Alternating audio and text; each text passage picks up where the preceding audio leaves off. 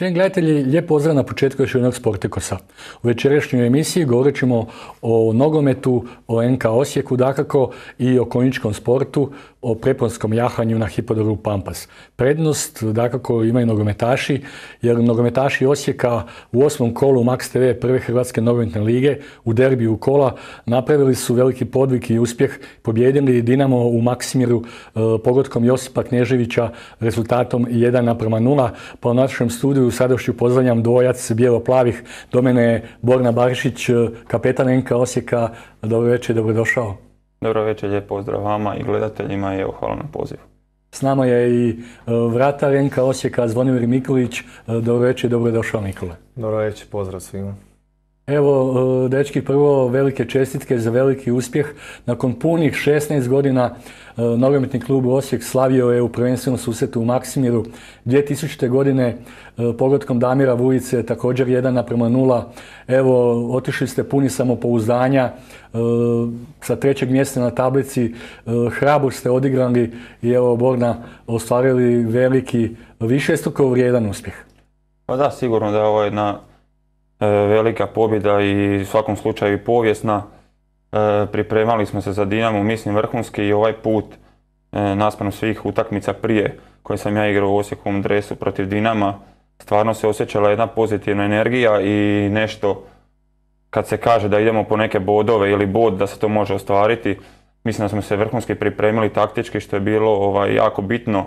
Pokazali to na terenu i evo hvala Bogu na kraju slavili 7 Zvonimir je također još jednom čestitke. E, bilo je gusto u Maksimiru, svoj posao si odradio maksimalno dobro. Evo, jedan od e, eto, junaka ove pobjede, iako svi koji su ističali u bijeloplavom e, na travnjak Maksimira od klupe zaslužuju samo čestitke. Ti si svoj posao odradio maksimalno dobro, sačuvao mrežu netaknutom, što je najvažnije za vratara i za obranu ispred njega. Evo, već u drugoj minuti je Knežević solo prodorom s centra je otišao, je to netipično, ljevak Joka je zabio desnom nogom s ruba kaznenog prostora. Nije bilo lako doleti skoro cijeli susred do kraja. Pa da, naravno, e, išli smo u Zagreb, ja bih rekao prvi put da smo bili sigurni da možemo nešto napraviti i držali smo se plana, nismo očekivali taj rani pogodak, ali smo iz toga očekivali da ćemo iz takve neke e, kontre, polu kontre na oduzetu e, loptu, da ćemo zabiti gol. Joka je to vrhunski napravio.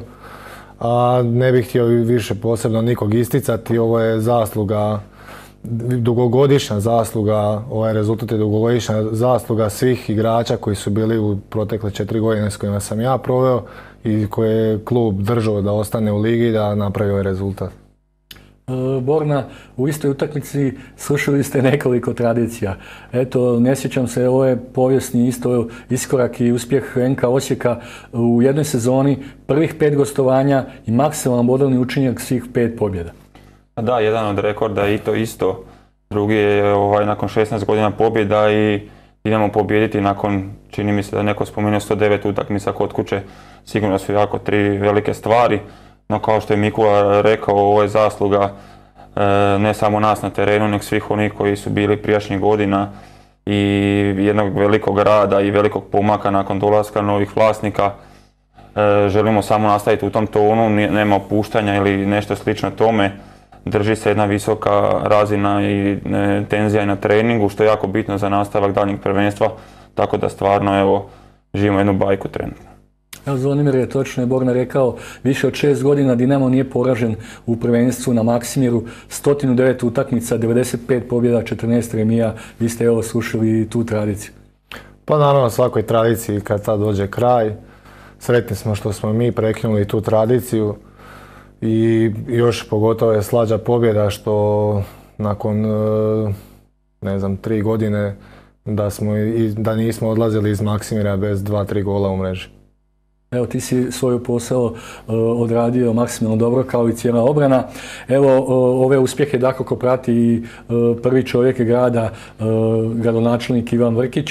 Mi smo porazgovarali sa gradonačelnikom, zatražili njegov komentar ovog sjajnog uspjeha pobjede u Maksimiru Osječkom nogometnog prvoligaša, pa pogledajmo i poslušajmo što je rekao gradonačelnik Osijeka Ivan Vrkić.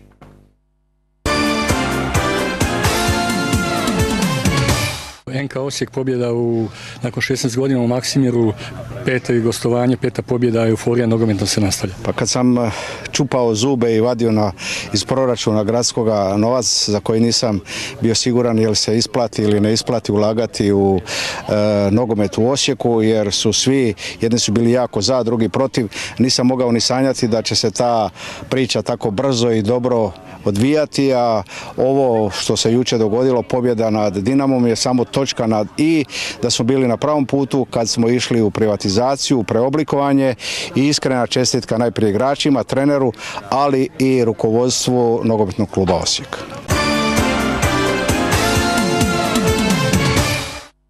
Pozdrav gledaocima Osječke televizije. Gledajte nas, mi smo najvjerodostojniji.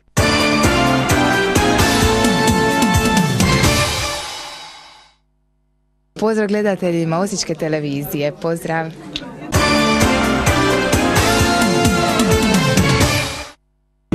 Pozdrav gledateljima Osječke televizije.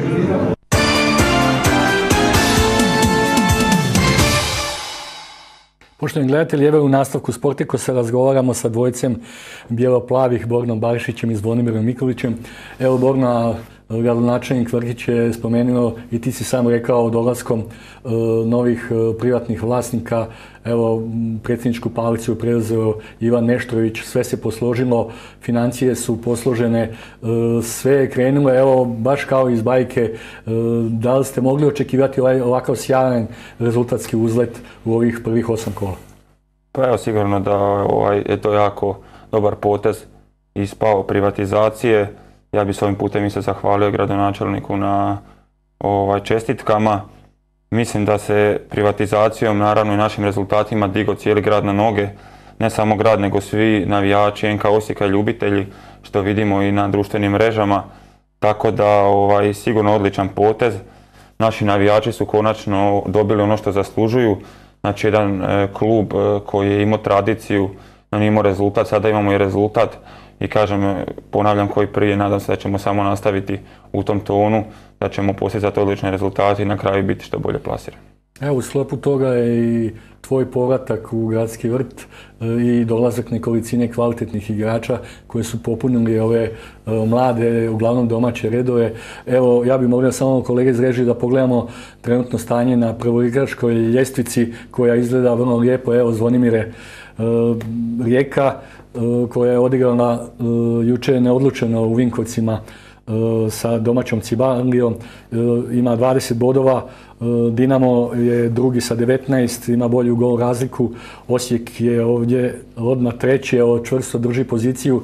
Zvonimir je kako je bilo nakon tri godine grčevite borbe za ostanak, ovako se brzo, uspješno izdignuti do vrha tablice, puno ljepši pogled, vjerojatno i ugodnije i raditi i tribine su na kraju krajeva isto sve punije kao odraz ove, ove slike i vaših uspjeha na travnjaku.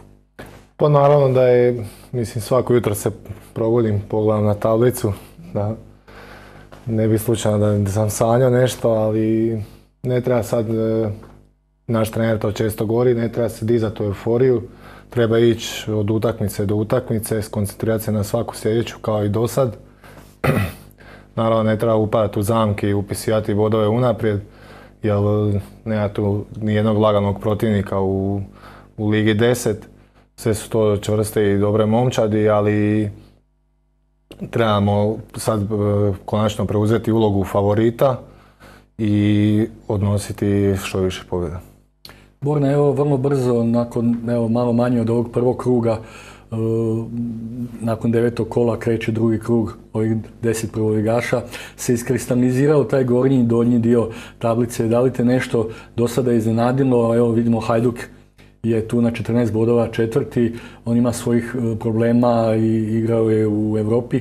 Da li te iznenađuje ovaj donji dio e, ljestvice gdje je na dnu samom Split i sa četiri boda, isto koliko ima pretposljednja Cibalija, povratnik u prvu ligu, također četiri boda. Pa da, sigurno da ovaj, me malo Split iznenadio, no ipak nije im bajna situacija u klubu što se tiče financija, vjerovatno otišli su im i neki igrači, tako da kod njih je takva kakva je situacija, sigurno će se, igrao sam u lokomotivi, znam dečke da će se dići u nastavku prvenstva, vidjeli smo sad da su dobili Belupa 3-2, njima isto Europa bila, tako isto i Hajduku, vjerujem da će se te ekipe malo ipak dići na kraju, ali mi smo spremni, spremno čekamo sve i ne namjeravamo se spuštati ispod ovog mjesta na kojem smo sada. Zvonimir, je li tebe nešto iznenadilo Split, Cibalija, evo slavonski derbi nakon tri godine e, pobjeda u gradskom vrtu 2 naprema 0, ali nije bilo ni malo lako.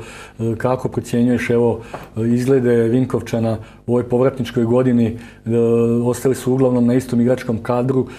Imaju manje bodova od onog čini se što su do sada i pokazali u dosadašnjih osam kola. Pa do ove utakmice s Rijekom, mislim da Vinkovačku Cibaliju nije niko nadigrao. Tako nismo ni mi. Često su odlazili bez bodova u utakmicama koji su, u kojima su bili dobri. Ali vjerujem da oni će kroz nastavak prvenstva da će se dizati kao i svi ostali klubovi, ali naravno što se nas tiče mi nećemo nimalo skijati ovaj, nogu sa gasa i samo ćemo biti bolji izmi. E, evo Borna dok gledamo ove kadrove sa početka priprema nogometaša Osijeka u gradskom vrtu, to je bilo početkom lipnja pod palicom trenera Zorana Zekića i njegovog stručnog stožera. U međuvremenu se e, eto, momčad ciljano popunila na ovim nekim deficitarnim mjestima, evo kao što smo rekli ti si se vratio na taj lijevi bok. E, pojačao se taj napadački red i konačno nakon tri sezone evo, tavorenja i borbe za ostanak i nedostatka pravog strijelca e, prošlo prvenstvo je čak bilo jedno pet kola da se nije uspjelo postići pogledak, ipak se tu posložilo i evo, e, konačno Osijek ima pozitivnu razliku pogledaka od plus sedam i svaku utakmicu se eto i postigne pogledak. Pa sigurno da je da su pojačanja ciljano napravljena, zato je vjerojatno taj prijelazni rok kod nas u Osijeku trajao malo duže. E, pojačanja su očigledno dobro dovedena. E, sviđa mi se što smo postali ekipa koja može zabiti ne samo gol, vidjeli smo dva ili tri, tako da smo sada opasni i prema naprijed što zadnjih par godina se nije desilo. Obrana nam, mislim, isto odlično funkcionira, tako da je za sad je stvarno sve u redu. E, Mikula, evo ti kao e, vratar posljednja prepreka pred mrežom, ali dosta je bilo i promjena i prisilnih tijekom ovih osam kola. Taj stoperski par se mijenjao ispred tebe, što zbog ozljeda i što zbog eto i forme. Eto taj bočni dio Matas na desnoj i Borna na lijevoj strani je standardiziran. Evo i sada ovi kad uhvate malo E, standardnost i kad se uigraju više ovi mladi igrači ispred, ispred tebe. E, Barač koji je imao e, krenuo jako dobro pa imao operaciju slijepog crijeva, potom ozljeda Lesjaka, eto Aksinić koji je i silom prilika lutao, ali evo sad je već, već dvije utakmice odigrao na stopleske liniji. Kako to funkcionira u vašem užem obrambenom redu? Pa mislim da smo sa određenim pojačanjima konačno smo dobili širinu, tako da i ova utakmica je dokazala to, iako je bez Milana Petrovića, standardnog e, veznog igrača e, i bez Aljoše Vojnovića, ostali smo i bez Domagoja Pušića, ali smo dokazali da svaki igrač je dokazao da zaslužuje biti ovdje i da, da je oštra konkurencija što je zdravo za klub i tako treba biti. Evo, poštovani gledatelji, e, pozivam vas da nam se javite na naš poznati telefon, znači Dakako da je pozivni za Osijek 031, naš poznati broj je 400 022. E, javite se slobodno sa nekim pitanjem, prijedlogom, komentarom, upitajte nešto e, naše goste Bornu Barišića i Zvonimira Miklića. Eto, nešto konačno pohvalite. Evo, čini se da imamo poziv. Dobro večer, da li se čujemo? Čujemo se. Odakle nas zovete? iz Osijeka.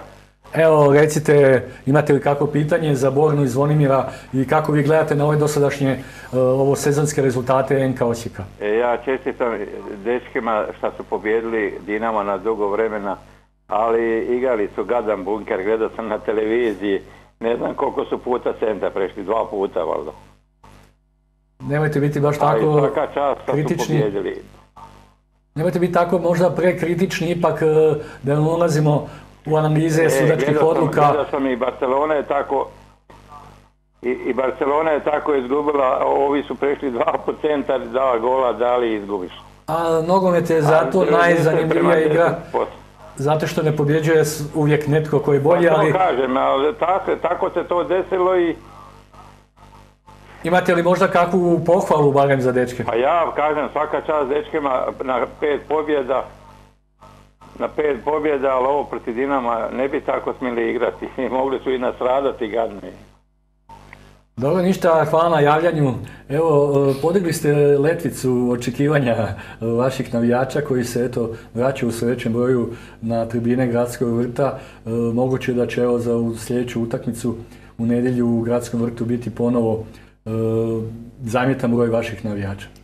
Pa da, ja bih se zahvalio prvo gospodinu na čestitkama, a ne znam ko je dotični gospodin gleda utakmicu, ako smo mi baš dva put prešli centar, onda dobro.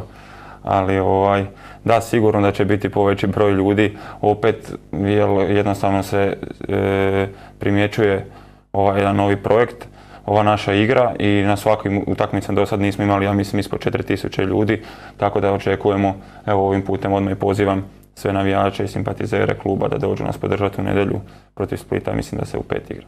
Tako, u 17 sati. E, Zvonimire, evo, e, posebice ste dojmljivo odigrali u prvom poluvremenu u Maksimiru, E, ali evo imamo još jedan poziv, dobro večer, izvolite, Dobro večer. odakle nas zovete? Iz Petrivaca, vjerni navijačenka Osijeka.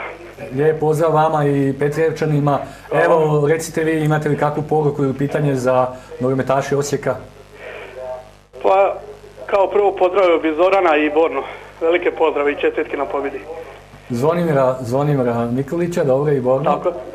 Dobro. Izvolite, recite, samo malo stišajte vaš TV prijemnik, e, e, pa ćemo se bolje Može, može. čuti i funkcionirati. Recite, nastavite. Pa ništa, htio bi se samo osloniti, očito ovaj gospodin je gledao neko krivu utakmicu, ha da. Dobro, I dobro. mislim, Osijek je odlično odigrao u Maksimiru. I čak i onaj 11 terac je čisti bio. Tu je znači trebalo biti 2-0 za Osijek već. I riješili bi odavno. Da li dolazite u nedjelju u gradski vrt na... Naravno, naravno. I sad ćemo, idemo po novi 9 bodova. Pa da. Dobro, ništa, hvala vam puno, evo, Eto, hvala pozdrav. puno na javljanju. E, Evo, Petrevčani, znači, e, prate bijelo-plave, E, nećemo puno sudačkim nekim dvojbenim, blago rečeno, ali ne dvojbenim situacijama, jer nedosuđen je za Insterac za Osijek, dvije kontre gdje su prekinuti e, suci zaleđe koje je bilo blago rečeno sumnjivo, ali evo, Petrevčani nas pla- prate i sigurno će biti u nedjelju u gradskom vrtu. Da, da, evo gospodin je ipak vidio da nismo samo dva prešli centar, a što se tiče sudačkih odluka, to nećemo komentirati. Barem ne ja. Zvonimire, evo to smo već rekli par puta, ti si svoj posao obavio besprijekorno, nekoliko opasnih udaraca, ubačaji, svi su bili sigurni e, tvoj plijen. Pa da, ali ja bih se isto osvrnio na gospodina. E, pa mislim, mi smo, mi smo stali čvrsto iza i znali smo da ih možemo pobijediti na kontre i polukontre i u prvom poluvremenu, pogotovo u prvom poluvremenu imali smo još 3-4 izrazite prilike, a i u drugom poluvremenu smo imali da je za milimetar bio je dupli pas između Jupija i Bobana, da je Jupi primi ide sam na golmana i ta dva prekinuta offside i dvojbeni 11 i tako da mislim da ako čovjek po- pogleda ponovnu utakmicu da će shvatiti da je pogriješio. Nećemo puno pričati ni o isključenju, odnosno udaljenju s klupe trenera Zorana Zekića, koji je sredinom drugog polovremena završio na tribini Maksimira, jer ga je sudac Zebec udaljio s klupe. Ali evo, Borna, kao što sam rekao, možda e, kažem, ovim jako dobrim rezultatima sa šest pobjeda, 19 bodova i tre- treće mjesto na tablici ste očigledno podigli letvicu očekivanja navijača koji su sad postali još probirljiviji. A da, teško je, znate, kad je tako dobro krene i sve, ambicije e, navijača su normalno i veće. Na teško je, Zvon je rekao i na početku, upisivati pobjedu unaprijed protiv bilo koga. Vidjeli smo to i na primjeru kad smo igrali s Cibalijom, jednostavno e, nije lako u ovoj Ligi 10, makar se to činilo možda preko televizora, e, dobit će sigurno, lako je, slabi su, naravno to na terenu tako nije. Mi ako ne budemo se ovaj tjedan pripremali, znači 100% kao i do sad radili i bili samouvjereni, u što sumnjam da, da neće tako biti, mi nećemo moći e, tako lako dobiti, ali kažem, ako nastavimo ovako raditi, a hoćemo, bit će sve u redu. Evo, da li imamo poziv? Evo, Halo, dobro večer, izvolite, čujemo se. dobar večer. Odakle nazovete? Želio bih pozdraviti prije svega igrače NK Osijeka, a i tebe Dalibore pozdravljate su igrač svog tate iz vremena igranja u Belišću i rekao bi nešto o ekipi Osijeka. Hoćete se možete se slobodno predstaviti. Izvrsno. Malo Mogu se ja predstaviti, ja sam golman, ti znaš o kom je riječ. Aha, dobro, dobro.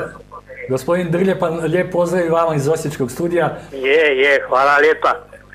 I samo da još nešto kažem. Može? Može, može. Moram reći da već odavno nisam čuo da trener ekipe koja ide igrati u Maksimir najavi da će ići na pobjedu. Ja bih čestitao gospodinu Zekiću na pravom sportskom tretmanu i želio bih da Osijek i dalje nastaje ovako dobro igrati. Evo, gospodine Drljepan, kao dugogodišnji odlični vratar, kako vi procjenjujete evo, e, ovogodišnje izdanje i općenito Zvonimira Mikulića kao vratara? Pa e, uvijek rezultati e, su posljedica dobro organiziranog kluba, dobre struke, a onda sve drugo je posljedica pameti, dobre selekcije, ustrajnosti i onda dođe, dođe do rezultata. Gospodine Drljepan, hvala puno na javljanju, pozdrav vama puno i e, Đakovu i Đakovčanima. Pozdrav, pozdrav mom kolegi su igraču. Hvala. Evo što komentirate, ovo je nekadašnji vrsni vratar Belišća iz njegovih nekadašnjih drugoligaških dana Belišća iz bivše države još. Što ti prokomentirati? Možda golman bolje. Evo golman prvi, evo imaš u Zvonimire prednost. Pa mislim da je čovjek sve lijepo rekao, da je sažeo ukratko koji je pravi put i nekog kluba. Znači selekcija e, koju je odlično obavio naš klub i u transfer, u, sa transferima koji su nam ti igrači dali dodatnu širinu, a i što je čovjek i primijetio e, naš, stav našeg trenera Zorana Zekića koji je i stav svih nas igrača da svaku utakmicu idemo po pobjedu. Evo Borna, i prošle sezone nisi bio ovdje u Gradskom vrtu, ali dok su se evo, tvoji nekadašnji i današnji suigrači borili i grčevito za ostanak, trener Zekić je usadio taj, da kažemo, e, neki blago rečeno ili uvjetno rečeno krvoločni stav da nema odstupanja e, ni pred kim, ali evo sad se to e, obistinjuje iz kola u kolo. Evo kao što smo rekli, ne bi se slučajno, ne može se slučajno dogoditi da pet gostovanja i pet pobjeda. Pa da, trener je sigurno to onima koji možda nisu imali u gradi, onim kojima su imali možda i probudio, ali na treningu se to osjeti, taj njegov je jedan stvarno pobjednički stav, mentalitet. I mislim da je to jako bitno e, za nas općenito, za ljude, jer moramo stvoriti jedan pobjednički mentalitet u glavama, znači da mi na svaku utakmicu idemo po pobjedu, jer je to jako bitno kako bi se moglo biti u vrhu cijelo vrijeme. Zvonimir, evo da se vratimo na tih pet pobjeda. Prvo i drugo kolo u Puli protiv Istre, 1 naprema 0, odmah drugo kolo u Zaprešiću protiv Intera, 2 naprema 0, oba puta prazna mreža. Potom je uslijedio domaći e, poraz nespretni, nespretni protiv Rijeke. E, zaslužili ste najmanje bod i to je za sad jedini poraz.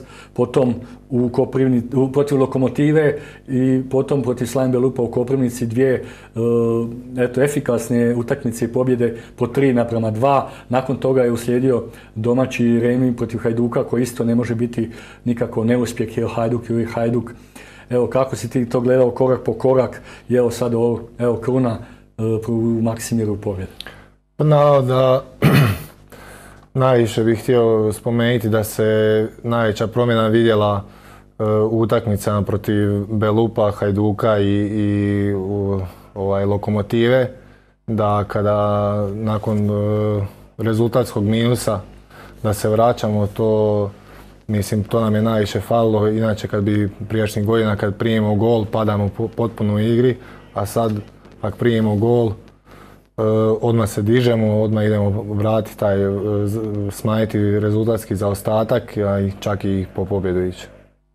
Evo, Bora, da se vratimo, odnosno da pogledamo unaprijed, kao što smo spominjali već ovu e, utakmicu devetog kola, domaćinstvo Splitu, neočekivan blago rečeno Fenjerašu trenutno, sigurno ga nećete pocijeniti, e, 18. rujna nedjelja od 17 sati u gradskom vrtu, već se uputio poziv navijačima, ali to će biti samo prva od tri uzastopne domaće utakmice, jer nakon ovog devetog kola se kreće u drugi prvenstveni ciklus, tada se eto okreće u gradski vrt će doći ponovo uzastopno Pulska Istra i Zaprešički Inter. Nije lako ni psihološki e, tri utakmice zaredom kući pobijediti.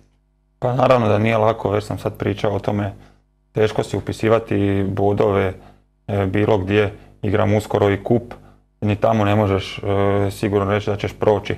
E, ne bježimo od uloge favorita, naravno da smo u sve tri utakmice favoriti.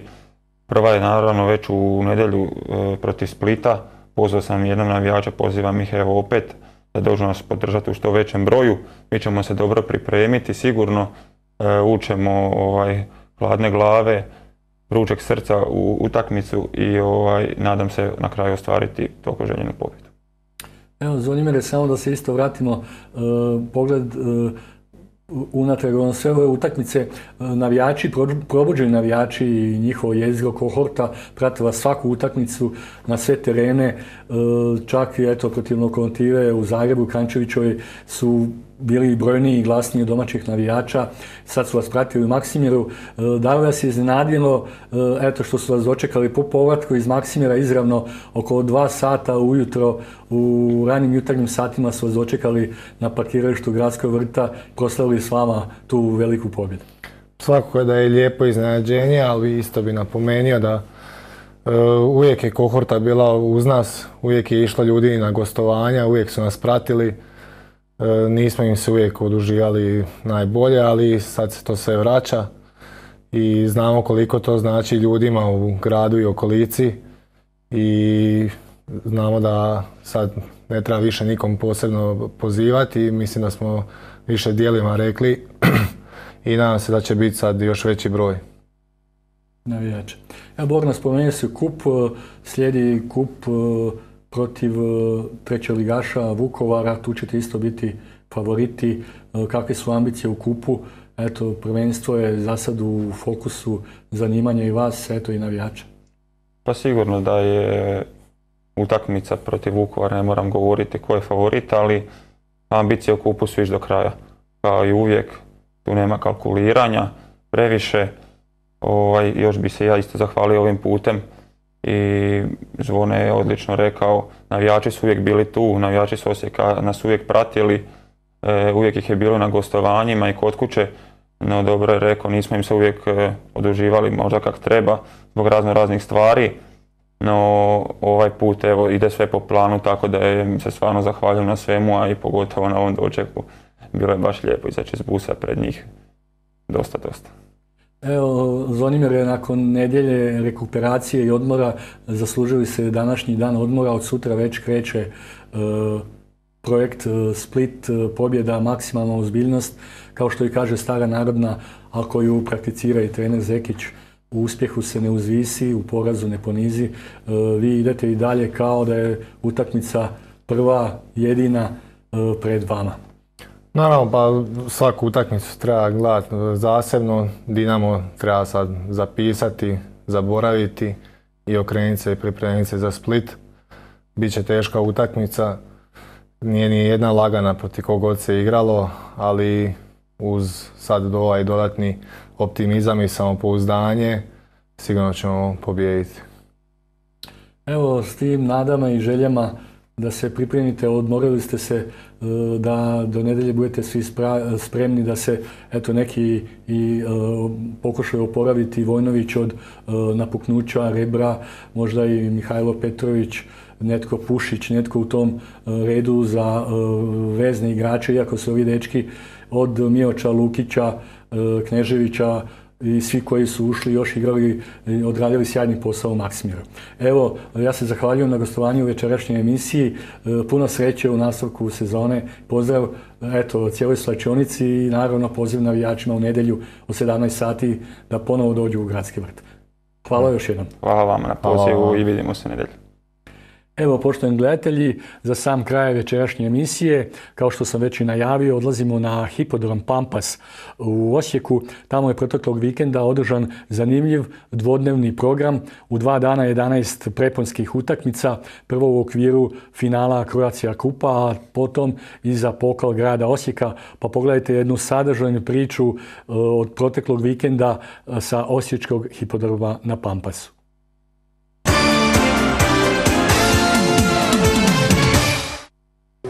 Gledajte Sportikos Osječke televizije.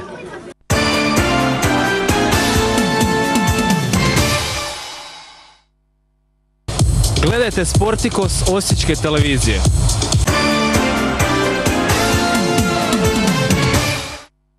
Ljudi, gledajte Sportikos Osječke televizije.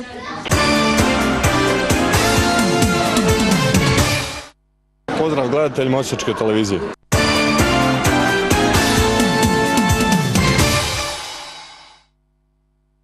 U organizaciji konjičkog kluba Osijek proteklog su vikenda na Osječkom hipodromu Pampas održana dva tradicionalna i vrlo kvalitetna natjecanja u preponskom jahanju. U subotu je održano finale Kroacija Kupa tijekom koje je održano pet utrka na visinama od 80 do 140 cm. Na visini prepona od 140 cm, koja je ujedno bila i finale Kroacija Kupa, prvo mjesto osvojio je Andrej Hrgović, koji je parkur na grlu galaksije prošao u najkraćem vremenu i bez kaznenih bodova. U nedjeljnom programu bilo je šest utrka s preponama visine također od 80 do 140 cm, a posljednja se utrka bodovala za tradicionalni 15. pokal grada Osijeka u kojem su nastupila četiri najbolja jahača i grla. U reprezentativnoj konkurenciji na kraju je u baražu pobjedu i vrijednu novčanu nagradu osvojio Ante Šimleša na grlu Ipsvić, član KK Sveti Juraj, ispred ranijeg pobjednika pokala grada Osijeka i njegovog klubskog kolege Andrije Hrgovića. Čestitke za ova dva dana ste imali puno utakmica, puno uspjeha, ali evo ipak glavna trka e, pobjeda u glavnoj utrci i pokalu grada Osijeka. Prvi puta ovdje u Osijeku. Pa da, e, nenormalno sam sretan jer volim doći u Osijek i tu mi je super, ali isto imao sam malo sreće jer je e, Hrgović srušio dvije prepone pa mi je bilo malo lakše. Mogao sam srušiti jednu preponu da pobjedim. Kako ste općenito zadovoljni e, ovim hipodromom nastupom u ova dva dana? Ma kažem, ovdje, ovdje nevjerojatni su ljudi gostoljubivi i tako mi svi volimo doći tu. Nama je prekrasno to. Kada ste prvi put nastupili u Osijeku, da li se sjećate? Sa 13 godina, 83. godine. I ovo danas natjecanje pokazuje koliko grad Osijek živi sport. Nevjerojatan je taj spektar kojih sve sportova i koja je to razina. Ovo je 15. za redom, e, pokal e, grada Osijeka. Koliko ja imam informacija, u drugim gradovima se to ne događa i to je jedinstveno, a to samo pokazuje koliko smo mi spremni i zainteresirani ulagati sve oblike sporta, pogotovo što je to duga tradicija u gradu Osijeku i veliko je zadovoljstvo i zahvala organizatori predsjedniku e, Kneževiću i svima koji su sudjelovali u ovome. I uzdam se da ovo što imamo ovdje od infrastrukture, ovaj hipodrom kažu da je to jedan od najboljih u Hrvatskoj, da će to sasvim sigurno biti pretpostavka za nova natjecanja i još više i ja se uzdam i grad će uz to stajati, pomagati, biti na raspolaganju upravo zbog toga što se to vrhunski radi u gradu Osijeku. 45 konja je nastupilo, jahači su bili vrhunski, dakle došli su svi, možemo reći hrvatski, vidjeli ste sad na ovom pokalu grada. E, finale Kroacija Kupa je bilo u svim e, dobnim kategorijama, dakle kadeti, juniori, seniori, 15. pokal grada, dakle jubilarni, to je vrlo vrijedan jubiler, ja mogu reći da 15 godina, ni jednu godinu nismo preskočili.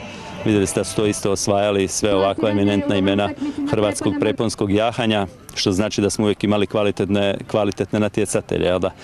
I sve u svemu mislim čak da možemo biti zadovoljni jučer i danas za razliku od prošlog vikenda kad smo imali onaj turnir s Mađarima, da je danas i jučer bilo i dosta publike ovdje, dakle urodilo je plodom to naše pozivanje i, i mediji su nam tu svakako pomogli i svima bi se zahvalio. Isto tako naravno zahvaljujem se gradu Osijeku, a, športskim objektima, Županije Osječko-baranjske, dakle svima onim sponzorima koji su nam pomogli.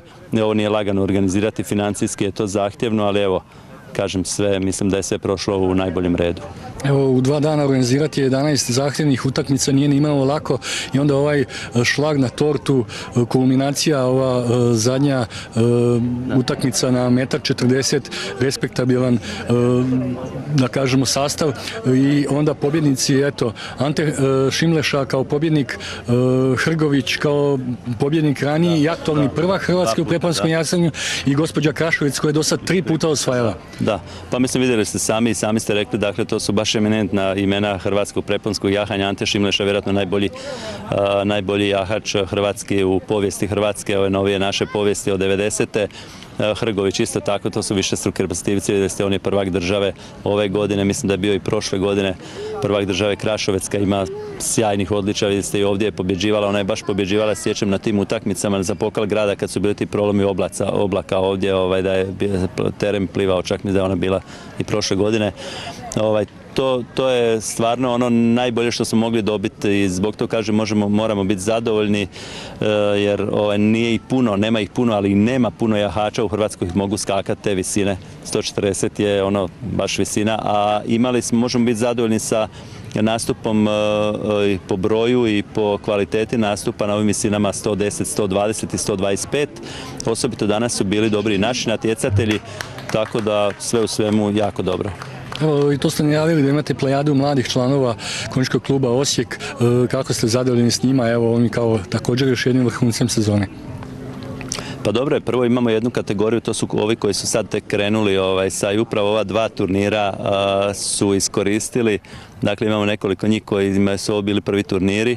Evo, jedna mala je jučer osvojila prvi pehar, svoj bila je druga na visini 90 što je sjajno zapravo ovaj, za takve mlade natjecatelje da imaju priliku u ovakvoj konkurenciji, da oni to sve prvo da vide, sve dakle i da nastupe sa, sa, sa vrhunskim jahačima, jel da i na tim visinama ovdje nastupaju vrhunski jahači.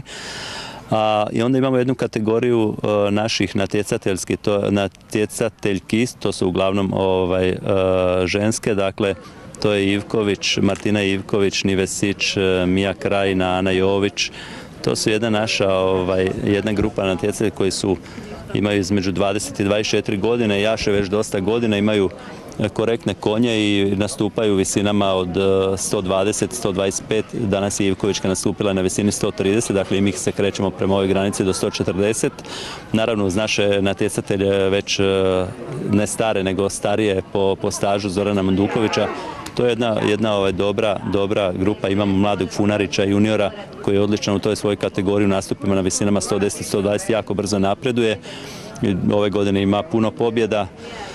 Tako da mi tu možemo biti zadovoljni. Naravno, e, opet spominjao ovu školu jahanja, dakle imamo školu jahanja na kojoj nastojimo što više mladih pokrenuti, da dobijemo ih upravo za ovo što su odradile ove dvije cure na ova dva turnira i da uvijek izlaze nove, nove mlade snage koje će onda krenuti da popunimo taj broj članova koji, su, koji će biti aktivni sportaši, jel da ska, preskakati.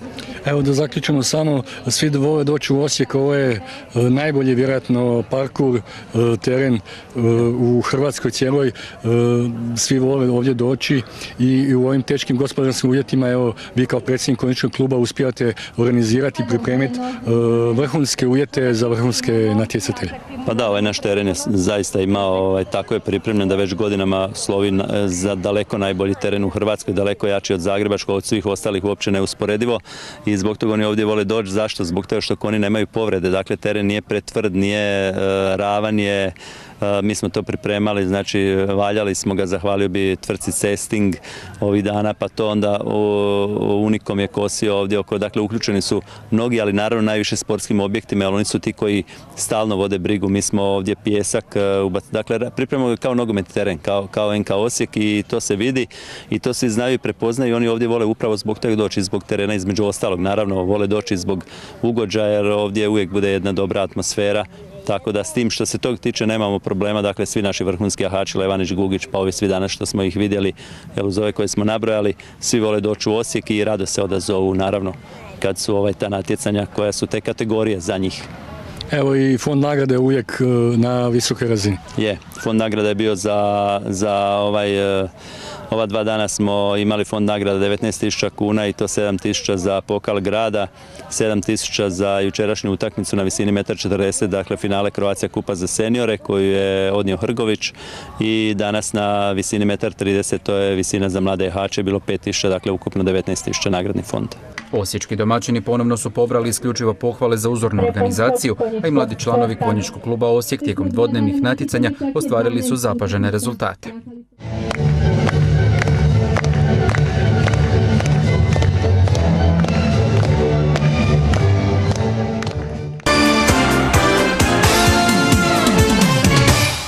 Dragi moji ljudi, gledajte Sportikos Osječke televizije. Ljudi, gledajte Sportikos Osječke televizije. Koma i ostali ljudi, gledajte Sportikus Osječke televizije. Ljudi, gledajte Sportikus Osječke televizije. Gospodo, ljudi, gledajte Sportikos Osječke televizije, molim vas na pažnji. Gledajte Sportikos Osječke televizije.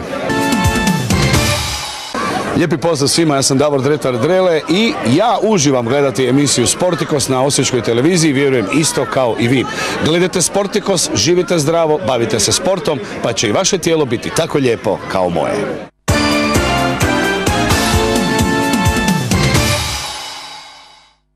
Evo, cijeni gledatelji, vi ste pogledali još jedan Sportikos.